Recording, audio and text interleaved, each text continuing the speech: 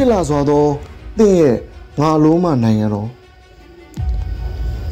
ခေတ်အဆက်ဆက်ဒီဝရအဆူဆူထပွင့်ပြခဲ့တယ်ဗုဒ္ဓသာသနာဟာအဲ့ဒီနိုင်ငံမှာတကယ်မပွင့်ထုံး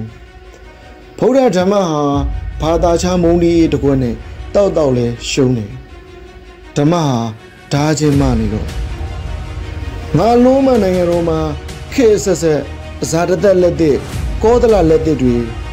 ဆယ်နှစ်တခါအာနာအရာထူးတယ်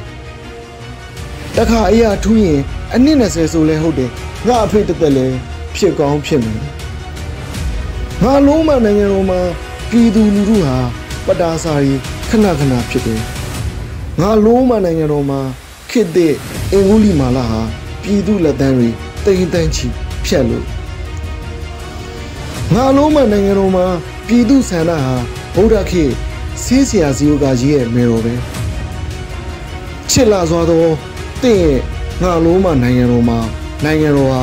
ခေတ်အဆက်ဆက်ငါလုံးမပဲဂရာဘီလက်တစ်တွေပြိတန်တွေခခဲ့တတိပြက်ကြခဲတော့ခက်တယ်နှွေးကြွေ